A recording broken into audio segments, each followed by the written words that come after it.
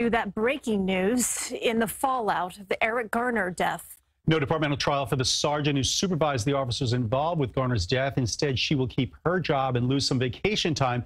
CBS 2's Valerie Castro joins us from the newsroom now with more. Valerie.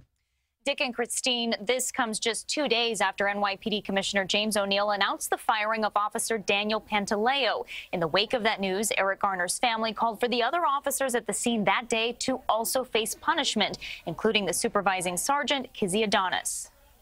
Gwen Carr, the mother of Eric Garner, called for further justice for her son following the firing of NYPD officer Daniel Pantaleo on Monday. We have other officers that we have to go after. You have heard the names. We know the wrongdoing that they have done. One of those officers named Sergeant Kizzy Adonis. According to testimony from another officer at Pantaleo's trial, Adonis arrived at the scene after Eric Garner had already been pulled to the ground in a chokehold during his arrest.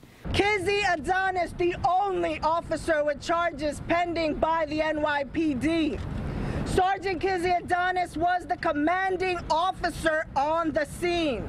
Right. Commanding officer who failed to supervise. Adonis was slated for departmental trial by year's end, but instead struck a deal with the NYPD. She'll remain with the force after agreeing to plead guilty to charges of failure to supervise. Her penalty, a loss of 20 vacation days. In a statement this afternoon, Gwen Carr said, quote, I'm not one bit surprised, but I am outraged and disgusted by how the de Blasio administration and the NYPD continue to show that they don't care about the murder of my son.